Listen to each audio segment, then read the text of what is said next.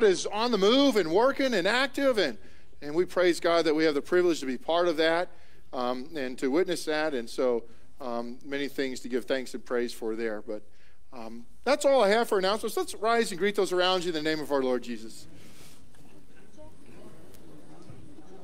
Morning again, Jim. Doing very well. Yourself? Where, where's Nita today? Wasn't feeling well. Oh no. Okay. Okay, good. I'm glad you talked to her. Okay. Okay, good. Nothing serious. Just not feeling great. Okay, I appreciate that. Yes, sir. Thank you. So, good morning. How are y'all? Yeah, you're looking great too. Good to see you. Good morning. Were you see you today at the Super Bowl? Okay. We're going to talk about the tapping the faith a little bit, but but but we'll we I'll fill you in. So nothing too formal. But,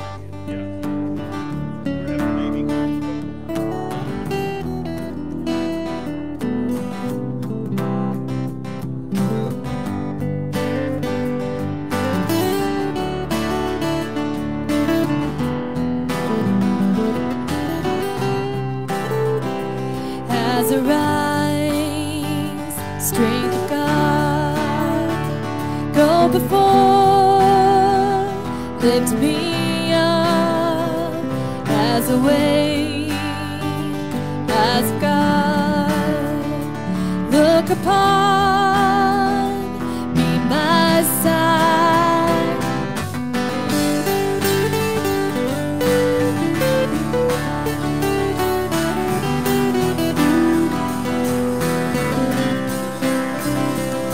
as a way, heart of God,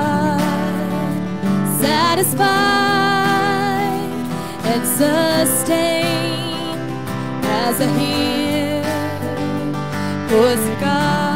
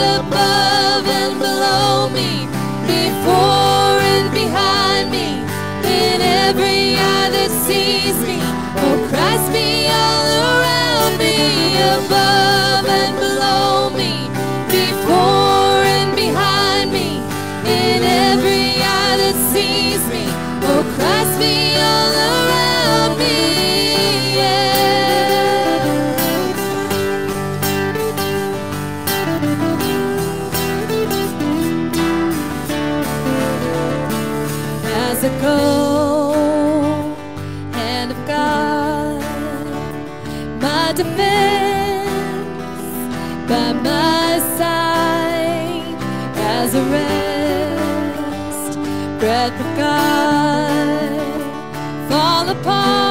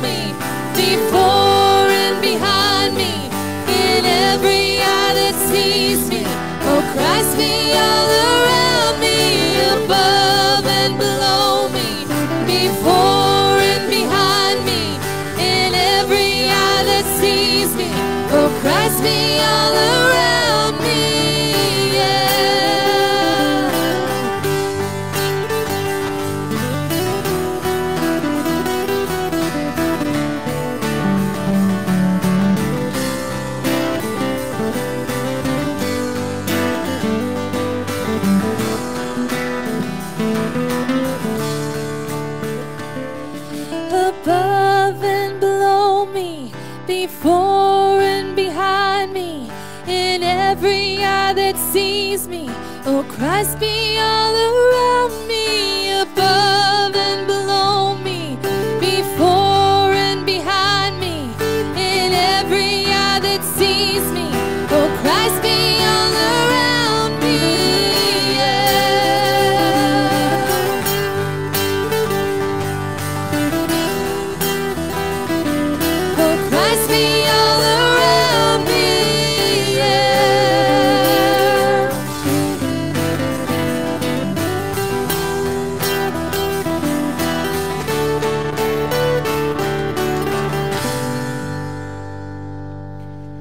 beginning in the name of the Father, and of the Son, and of the Holy Spirit. Amen. Today we have the unique opportunity to go through the book of Esther, and a great and wonderful book. If you haven't read it, I would encourage you to do so. But uh, um, when we talk about you know opportunistic you know endeavors that where God puts us in a position to be able to live out and to fulfill in our lives, you know Esther was put in an absolutely unique opportunity, and God put her there for that very purpose and unique purpose.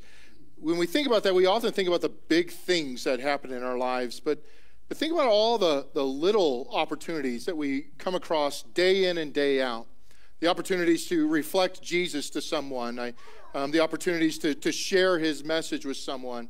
You know, in our time of confession, we often use the, our, the words, right? We confess all our sins um, that we have sinned against you in thought, word, and deed. But the, the opposite end of that is true too, right? Not maybe sometimes I don't say the wrong things, but maybe sometimes I don't say anything at all, right? And, and the opportunity to um, bring someone closer to God or to say a kind word or to just simply live out a Christian life um, goes right past me, right? And, and I don't even see it sometimes right? And, and that's why the confession continues. I, I confess all my sins to you, the things that I have done wrong and the things that I have left undone, right? That I didn't do at all. Um, the places that God has put us in, that we have a chance to, to be Christ and just be Christian, and we just miss it. It goes right past us. We find that all the time in our lives, or I really sit and reflect on it.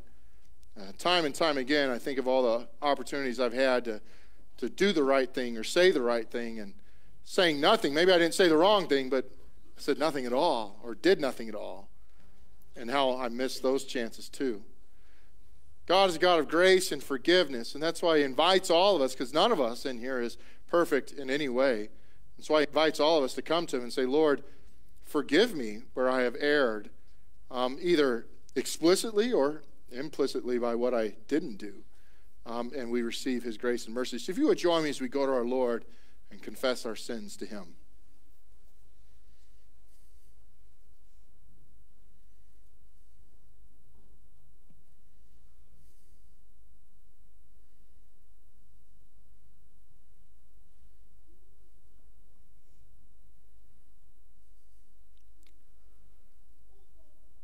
Heavenly Father, each and every one of us are here this morning to hear your words of grace, to receive your grace of your mercy, your words of mercy. And Lord, we know that as we come here this morning, that you have given us chances, opportunities, put us in places to, to share your word or put us in places, Lord, to just share your loving spirit with the world around us, and we've missed it, didn't see it, weren't paying attention, or maybe even just didn't even want to.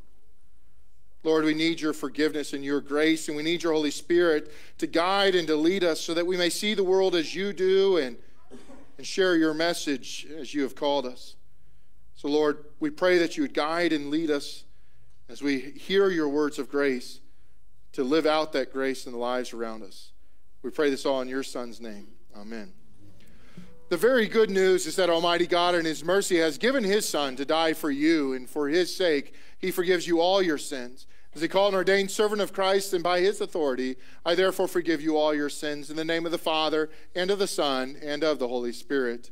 Amen.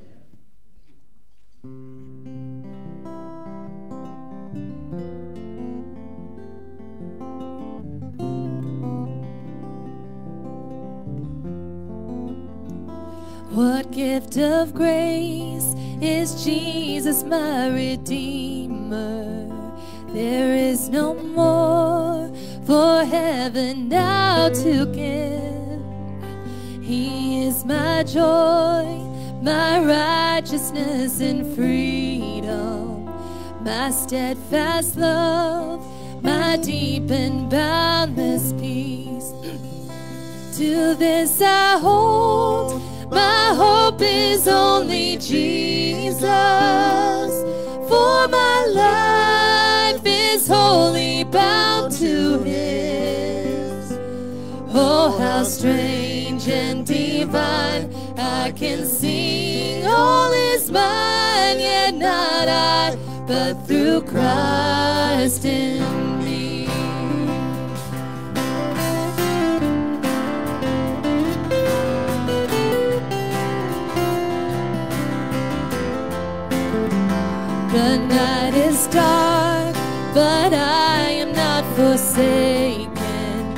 For by my side, the Savior, He will stay. I labor on in weakness and rejoicing. For in my need, His power is displayed. To this I hold, my shepherd will defend me. Through the deepest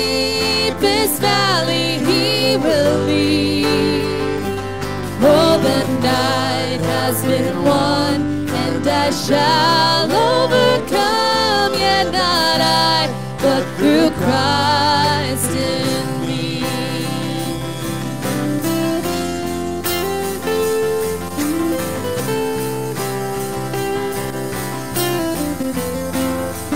No fate I dread, I know I am forgiven. The future sure, the price it has been paid. For Jesus bled and suffered for my pardon, and he was raised to overthrow the grave. To this I hold, my sin has been defeated. Jesus now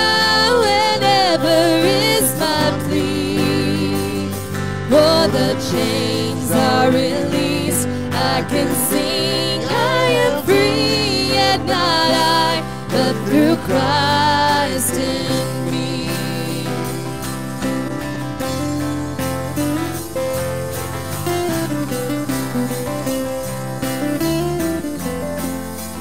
With every breath, I long to follow Jesus, for he has said that he will bring me home. And day by day, I know he will renew me until I stand with joy before the throne.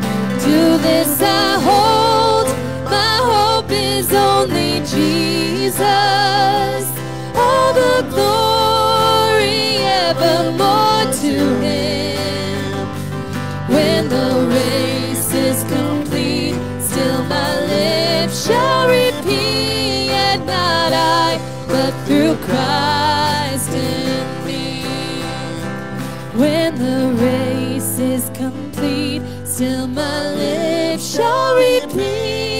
not I, but through Christ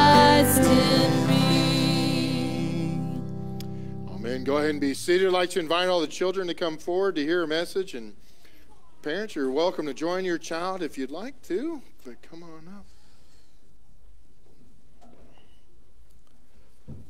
We're going to wait just a little bit. A few more coming. Come on up.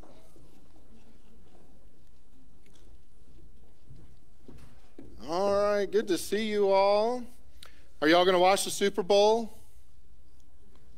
Maybe. You don't know? Depends on if it's on when you're home. You're, do you know who's playing?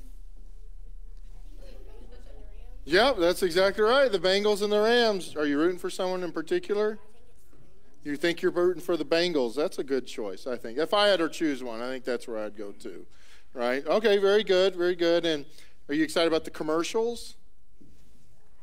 The halftime show. Okay, halftime show. It's a kick back to the 90s, I hear, so that'll be interesting. Um, well, today we're going to learn about Esther, right? Esther, a wonderful, wonderful, the book of Esther, a great story. I'd encourage you all to read it. Um, but one of the things about the book of Esther is in that book, it talks about how Esther was put in a unique place at a unique time for a very, very specific purpose. Okay, so, you know, was, she was there in that time, in that place, for a reason, for a purpose. A wonderful, wonderful blessing that God gave to her. She didn't see it or recognize it at that time. But let me ask you this do you think God still does that for us today? You think He puts us in the right place at the right time for the right reason, for the right purpose? Yeah, and I was trying to think about that. Like some of the times, what are those times? Let me ask when you're at school, have you ever noticed that one of your friends may be sad? You ever notice that when you're at school that maybe a friend of yours is sad?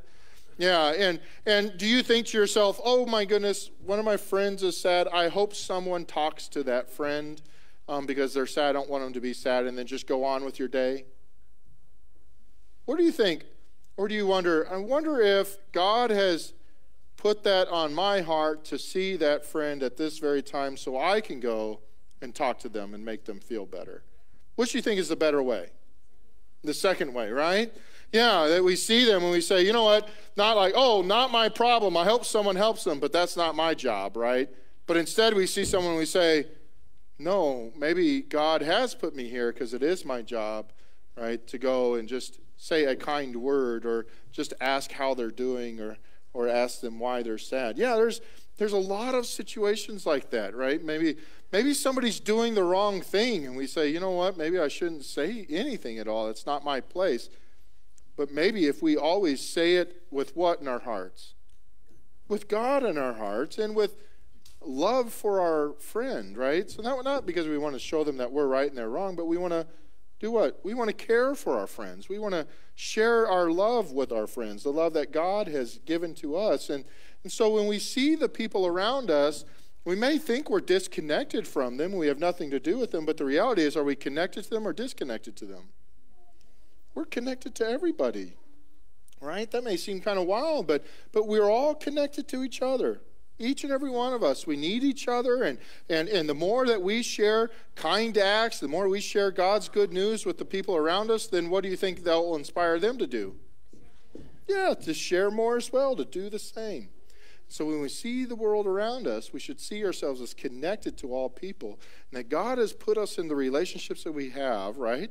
Friends and families, and even the relationships of just passing by someone in the store or something like that. He's put us in that situation at all things, right? So that we may share a little bit of His love with the world around us. Maybe that's as simple as when you walk past somebody giving them a smile and a hello, right? Um, or maybe helping someone when they're in bigger need than that. But we never just walk by somebody as if they don't exist at all, right? Because God hasn't put us there to do that. Does that make sense? All right, I appreciate it. Does that make sense? All right, y'all can go back to your seats now. Thank you so much.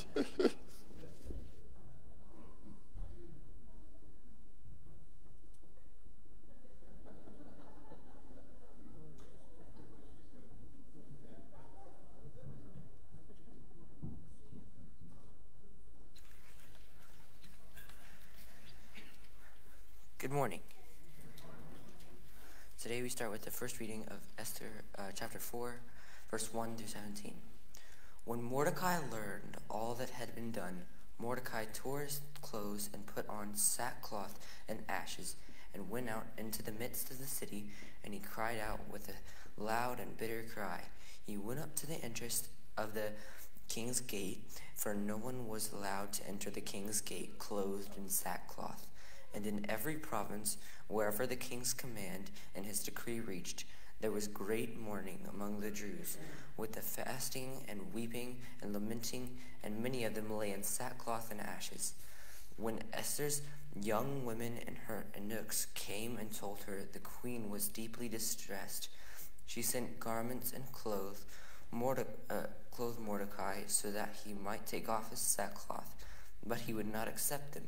Then Esther called for Hakath, and one, one of the king's eunuchs who had been appointed to the her, and ordered him to go to Mordecai to learn what his uh, what this was and why it was. Hakath went out, out to Mordecai in the open square of the city in front of the king's uh, gate, and Mordecai told him all that had happened to him an exact sum of money that Haman had promised to pay in the, in the king's treasuries for the destruction of the Jews. Mordecai also gave him a copy of the written decree issued in Susa for their destruction, that he might show it to Esther and explain it to her, and command her to go to the king and beg his favor and plead with him on behalf of her people. And Hakath went and told Esther what Mordecai had said. Then Esther spoke to Hakath and commanded him to go to Mordecai and say, All the king's servants and the people of the king's provinces know that if any man or woman goes to the king inside the inner court without being called, there is but one law to be put to death, except the one to whom the king holds out the golden scepter, so that he may live. But as for me, I have not been called to come to the eh, come into the king these thirty days. And they told Mordecai what Esther had said. And then Mordecai told them to reply to Esther, Do not think to yourself in the king's palace you will escape any more than the, all the other Jews. For if you keep silent at this time, relief and deliverance will rise for the Jews from another palace, um, but the but and your father father's house will perish, and who and who knows whether you have not come to the kingdom for such time as this. Then Esther told them to reply to Mordecai, Go gather all the Jews to be found in Susa, and hold and hold a fast on my behalf, and do not eat or drink for three days, night or day. I and my young women will also fast as you do. Then I will go to the king, though it is against the law, and if I perish, I perish. Mordecai then went away and did everything as Esther had ordered him. You may rise for the reading of the gospel.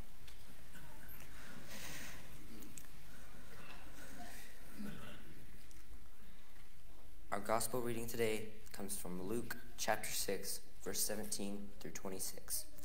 And he came down with them and stood on a level place with a great crowd of his disciples and a great multitude of people from all Judea, Jerusalem, and the seacoast of Tyre and Sidon, who came to hear and be healed of their diseases. And those who were troubled with unclean spirits were cured.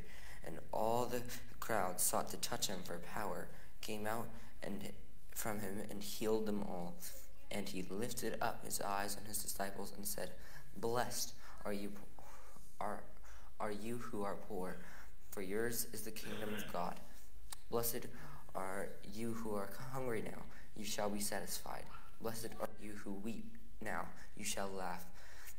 Blessed you are you when people hate you and when they exclude you and revile you and spurn your name as evil on account of the Son of Man. Rejoice in that day and leap for joy, for behold, your reward is great in heaven. For so their fathers did, did to the prophets. But woe to you who are rich, for you have received your consolation. Woe to you who are full now, you shall be hungry. Woe to you who laugh now, for you shall mourn and weep. Woe to you who all speak well of you, for so their fathers did the false prophets. You may now be seated. Well, I pray God's grace, peace, and mercy are yours from God our Father, from our Lord and Savior Jesus Christ. Amen.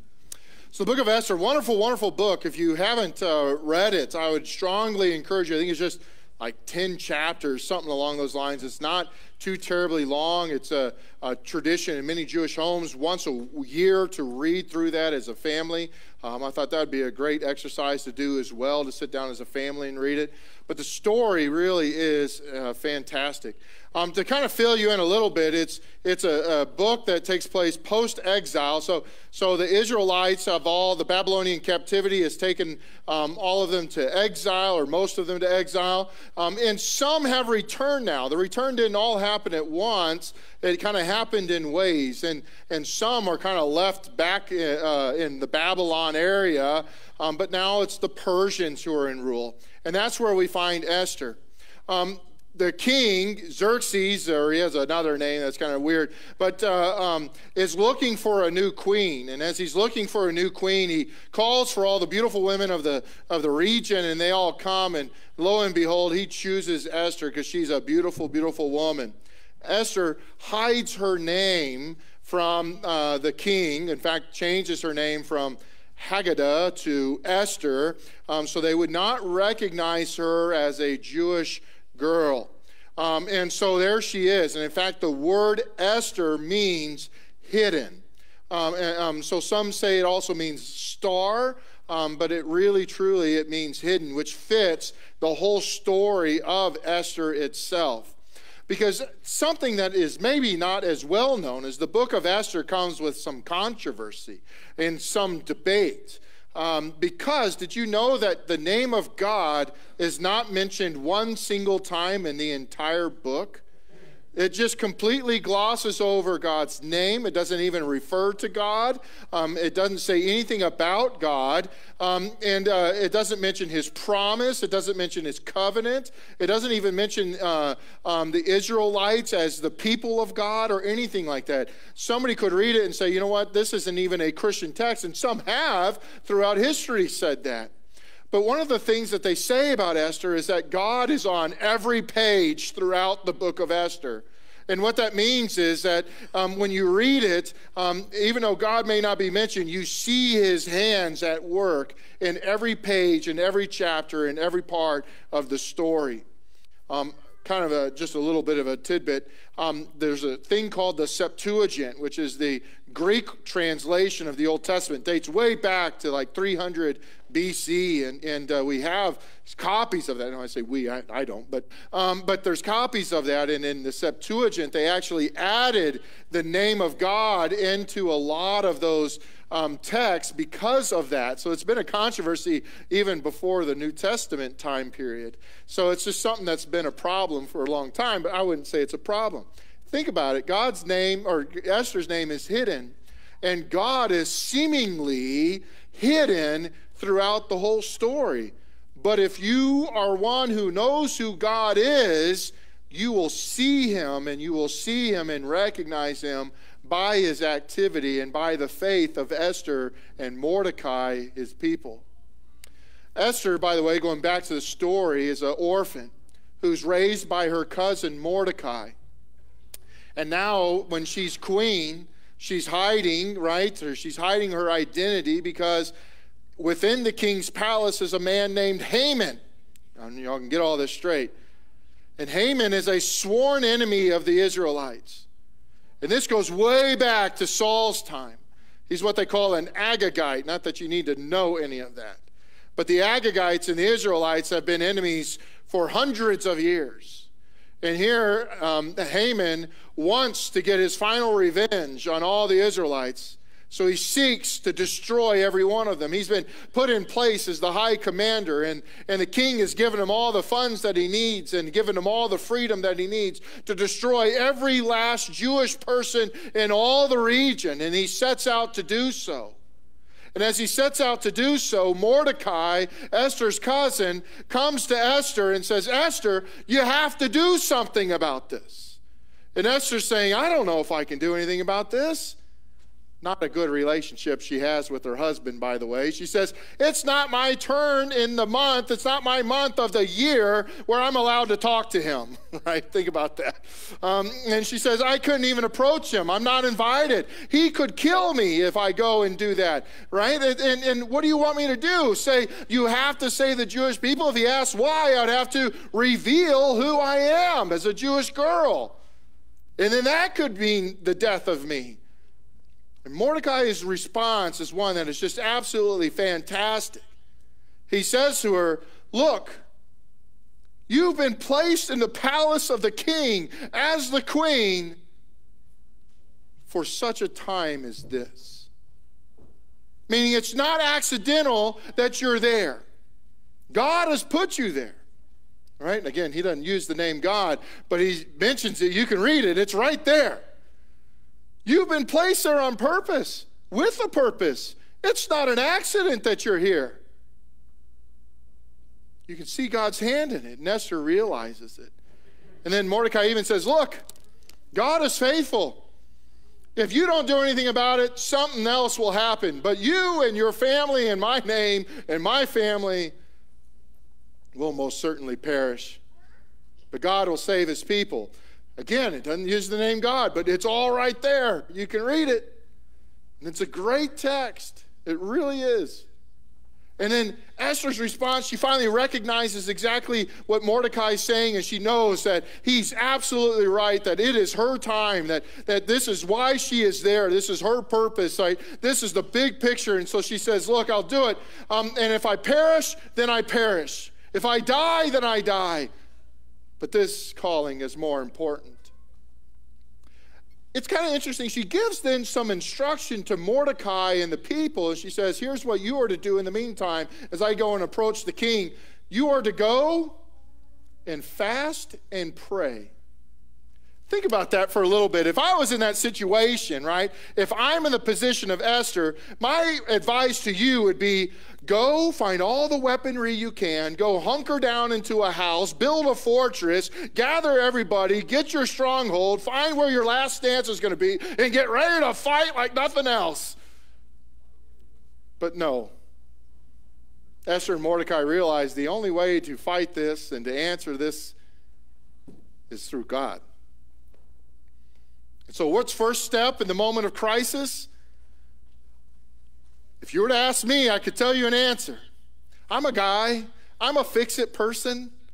Right? My kids come home and say, Dad, I had a bad day. Well, what happened? Well, this happened. I was okay, what are we going to do? Let's fix this problem. I got you. Right? Who do I need to fight? Who do I need to write a letter to? Who do I need to chew out? What's going to happen?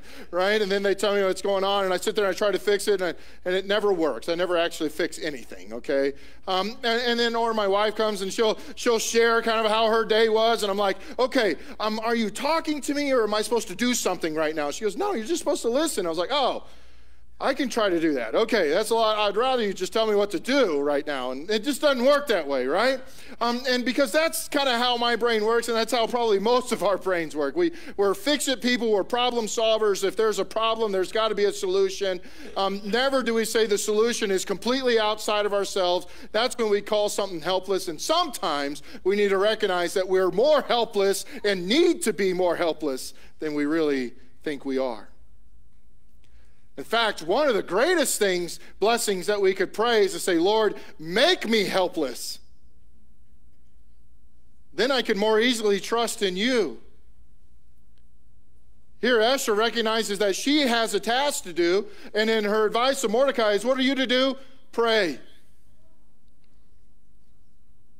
Because God alone will save and deliver us. So that's what they go to do, and then Esther goes and approaches the queen, or the king rather, and she has to reveal who she is. And as she reveals who she is, what do you think happens? How many of y'all like the movie Rudy? Right? Man, that came out when I was in high school. I, I tell myself, that's right, I'm going to be just like Rudy. I'm going to go play for the University of Nebraska, and it's going to be great. They'll have to accept me because I've seen the movie and I'm motivated, right? Um, and, and I was just, I thought that was my dream, right? That was going to happen right? But I love the scene, and there's the amazing scene, right? Um, the Rudy moments, and, and Rudy finally is able to go to uh, uh, the game uh, as a player because all his team forfeits their jersey to make sure he goes. And so as he goes, right, they go, Are you ready for this? And what's his response? I've been ready for this my entire life.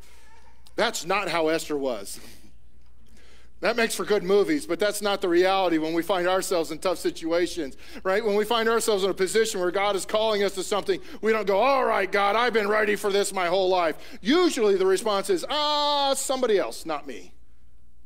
I'm glad there's people in this world that will do something about that so I don't have to, is really what we're saying.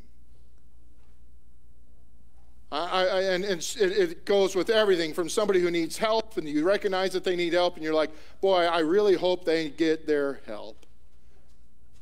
To everything, and I love it because everything from um, the Sunday school teacher, we go and ask for a Sunday school teacher, and the common response that we hear is, is uh, um, ah, I don't think I'm quite prepared for that. And, and if I'm picking on you, I'm not trying to, but it's just I thought this is this is a good sermon illustration for Lutheran guilt, right? Because now I can go to them and I can say, oh, let me tell you about the story of Esther. She had to approach a king, and he was probably going to kill her and all her people, um, right? But yet God said, for such a time as this, you were put in this place for this moment. Did she have all the answers? No. No, not at all. And we find ourselves in these moments so often, so often, that we don't even recognize them. We don't even see them. I think that's one of the hard parts of growing in faith, right? Is, is that we start to see the world through the lens of Christ and we start to see the world as God sees the world. And when we see someone, it's not just an interaction, but every interaction is an interaction that needs to be filled with the Holy Spirit so that we can say, hey, is, even if it's as simple as a, for such a time as this, that I can look at someone and say, I'm glad you're here. Or for such a time as this, that we can pass by somebody and smile right? Or for such a time as this, that we can have a moment that we can say, it gets a little deeper and say, hey, I want to tell you about Jesus and his love and just how special it is, because I think you need to hear that right now. And we answer that for such a time as this calls. I even think bigger than that and broader than that. And, and if you would, kind of let your mind wander a little bit, because y'all are all here. We're all here. For such a time as this, we're gathered here at this moment. There's no accidents. God is still totally, utterly in control. He still watches over and cares for and still leads, and His Spirit guides and leads us. We believe that. But think about this at some point in your life, or in your history, I should say, somebody answered a for such a time as this call. You may not even know who it is. We had a baptism this morning. We have another one um, coming up in here in a little bit. But in those baptisms, I thought, well, there's mom and dad. They brought this child to the waters of baptism for such a time as this, right? That that child would be baptized and, and be raised to know the good news about Jesus. And thank God that mom and dad answered that call. But here's the thing that we don't often think about somebody answered that call before mom and dad did, right? And somebody did before that parent did, and somebody did before that parent did. And we can't trace it all the way back, but if somebody could, maybe in heaven, we trace it all the way back at somebody started that for the first time. And maybe it's nine or 10 generations back that you can go and say to someone, a complete stranger who said to your great, great, great, great, great, great grandfather, the good news about Jesus and answer that such a time as this. Or maybe you're here and you're the first. And God bless you doubly. Because if you're here and you're the first, what does that mean? Somebody answered that call for you. And you get to start a whole wave of legacy. So, eight generations from now, somebody will unknowingly thank God for you. For such a time as this, you were put in this world to have the relationships and the friendships and the interactions that you have in your life so that you know and the world around us knows the good news of Jesus. You want to change the world around you? I think we all do. We all recognize that for such a time as this in our lives. What a wonderful, cool thing. I mean, Esther saw it. We don't always see it. She was able to see it and recognize it and answer that call. And she knew it could go real bad. But she says, you know what? In the end, the goal is to follow Jesus, to follow his will, and to trust in him in all things. For such a time as this, we were created and brought into this place, wherever your context is in your life, to live it out to its fullest, always in the roots of the gospel. Now may his peace, which surpasses all understanding, keep your hearts and your minds on Christ Jesus our Lord. Amen. This time we'll continue our service with our offering.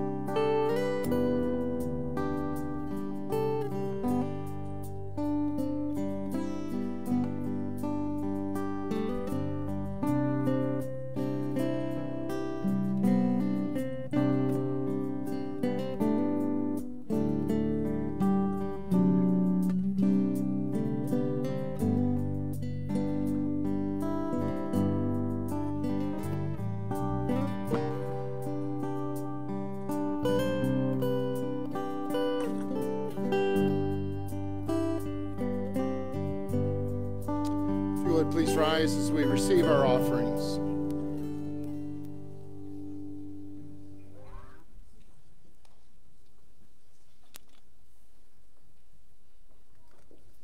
We pray that you'd bless us, O Lord, so we may be a blessing to others.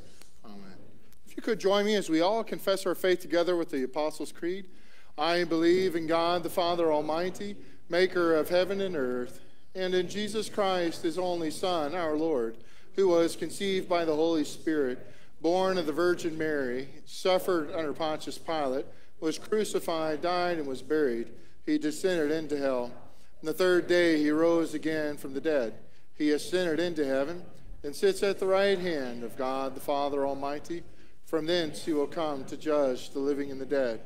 I believe in the Holy Spirit, the holy Christian church, the communion of saints, the forgiveness of sins, the resurrection of the body, and the life everlasting. Amen. Our Lord Jesus Christ, in the very night in which he was betrayed, he took bread, and when he had given thanks, he gave it to them, saying, Take and eat. This is my body, which is given to you. Do this in remembrance of me. The same way, also, he took the cup after supper, and when he had given thanks, he gave it to them, saying, Drink of it, all of you. This cup is the new covenant in my blood, which is shed for you for the forgiveness of sins. Do this as often as you drink of it in remembrance of me.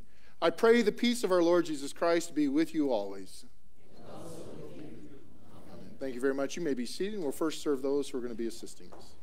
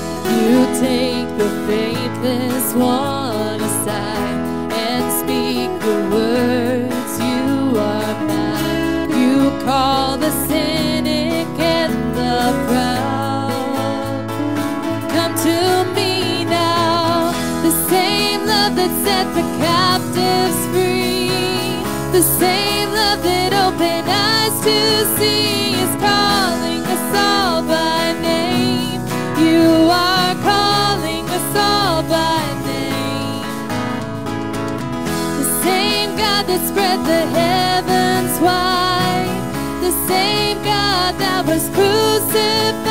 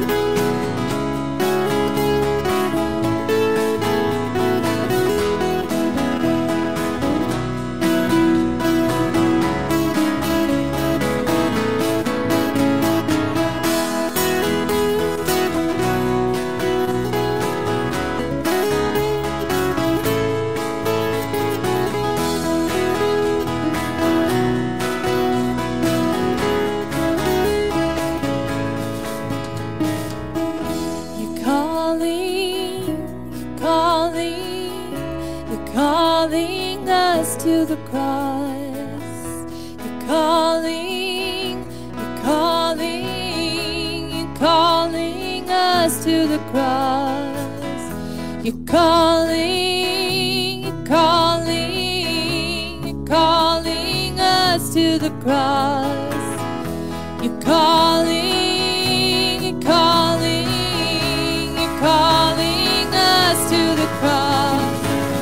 The same love that set the captives free, the same love that opened eyes to see.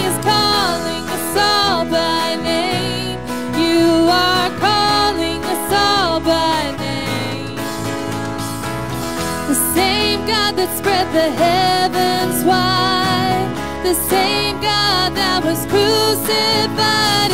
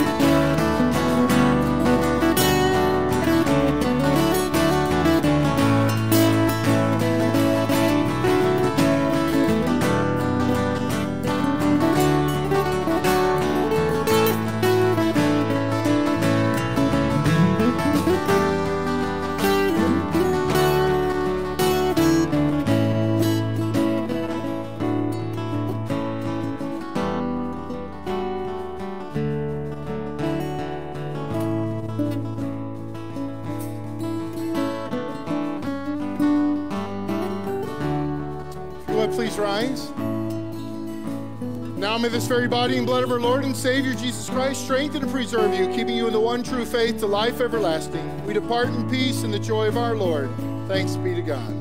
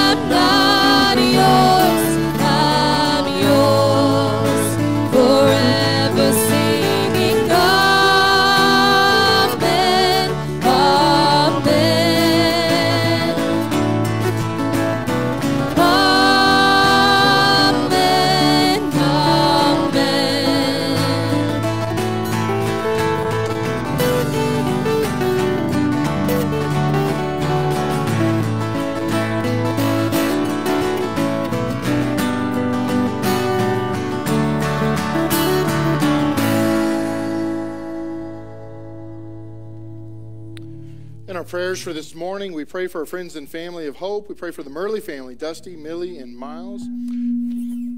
For Joe Lopez and Lindsay Murray, Cooper and Presley. For the Nichols family, Chad and Chrissy, Luke, Ryan, Braden, and Hunter. If you would include those families in prayer. And I love it. Somebody asked me once, uh, why are you praying for me? There's nothing wrong. And I says, well, that's the whole point. We're just working through the alphabet. We pray for everyone.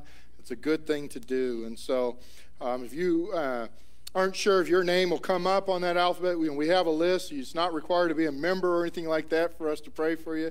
Just let us know, and we would love to add you to that as well. Um, also, if you would add in prayers, we, we have a, um, a prayer for, for loss of a loved one. Uh, Vicki Punchard was a, a teacher here for many, many years. She taught in the Bumblebees classroom just on the other side of that wall um, until she retired. And um, man, I was just thinking about the, the number of lives that she's touched while working here, um, the number of babies that she has held in her life um, is really quite remarkable. But uh, um, uh, but she passed away uh, just earlier this week, and um, so our prayers are with her family and her friends. Um, still near and dear uh, to a number of members of our church, and and so we want to think of her and and. Um, remember her family and friends in prayer. So if you would join me as we go to our Lord. Lord God, Heavenly Father, we give you thanks and praise of all the opportunities we have to serve you, to proclaim your good name. And Lord, that you put us in those positions, but never alone, never without your power, your name, your promise, and your words that live in, in and through us. So help us, O Lord, to see the opportunities there are to uh, share your good name and to uh, act according to your will so the world may see you. Lord, in your mercy, Hear our prayer, O Lord, as we lift up our friends and family here at Hope. We especially um, pray for this week the Murley family, Dusty, Millie, and Miles, um, Joe Lopez, Lindsay Murray, Cooper, and Presley Murray. Lord, for the Nichols family, Chad and Chrissy, Luke, Ryan, um, Braden, and Hunter. Heavenly Father, that you would be with these families, and Lord, that you would um, strengthen them, and Lord, that you would strengthen us as the body of Christ. Lord, in your mercy. For those our loved ones who are sick and ill, we pray for your grace to be with them, to give them strength during their time of illness. And Heavenly Father, that your healing hand would be upon them. For Lauren and Danny, Ingrid, Deborah, Alan, Eloisa, Eldon, Linda, Barbara, Sharon, Justin, Scout, Alan, Donald, Carlene, Gladys, Wayne, Frida, Daniel, Jennifer, Marcella, Herman, Paul, Chris, and Josh. Heavenly Father, we lift them up to you and pray that you would watch over them this day and always. Lord, in your mercy. For the family and friends, O oh Lord, of Vicky Punchard, we pray that you'd bless them with comfort, and Heavenly Father, that you'd give them peace that's found in the promise that you give of the resurrection. Lord, in your mercy. And hear our prayer, O Lord, as we pray in your name and as you have taught us, our Father, who art in heaven, hallowed be thy name. Thy kingdom come, thy will be done, on earth as it is in heaven. And give us this day our daily bread, and forgive us our trespasses, as we forgive those who trespass against us. And lead us not to temptation, but deliver us from evil. For thine is the kingdom, and the power, and the glory, forever and ever. Amen. And now may the Lord bless you and keep you. May the Lord make his face shine upon you and be gracious to you. May the Lord look upon you with his favor and give you his peace. Amen.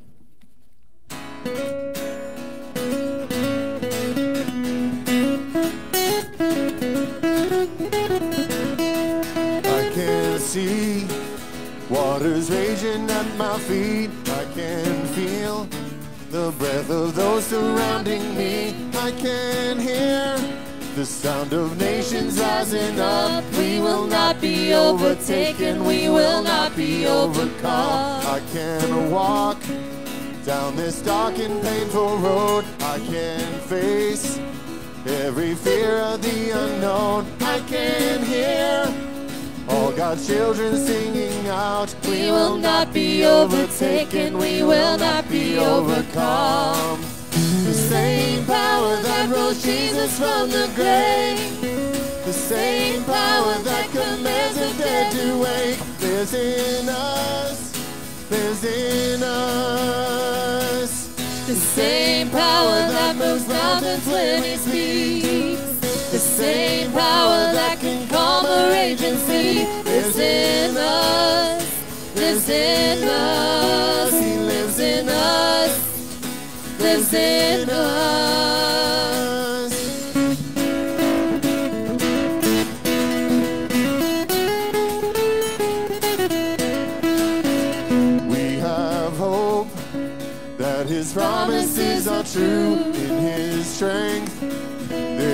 Nothing we can't do. Yes, we know There are greater things in store. we will not be overtaken, we will not be overcome.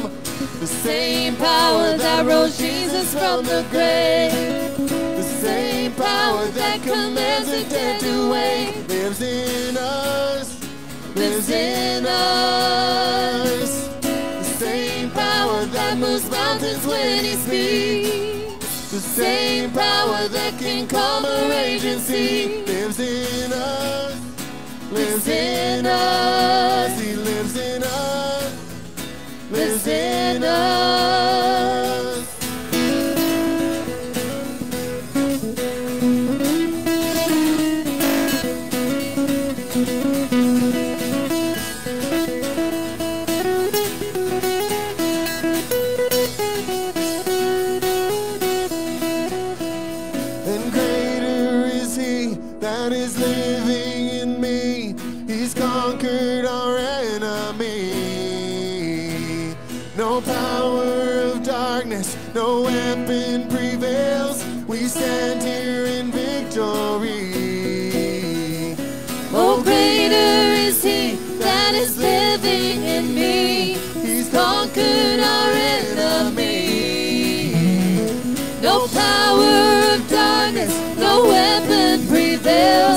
Stand here in victory. the same Power that rose Jesus from the grave. The same power that commands the dead to wake lives in us. Lives in us. The same power that moves mountains when he speaks. The same power that can conquer agency lives in us. Lives in us. He lives in us. Lives in us.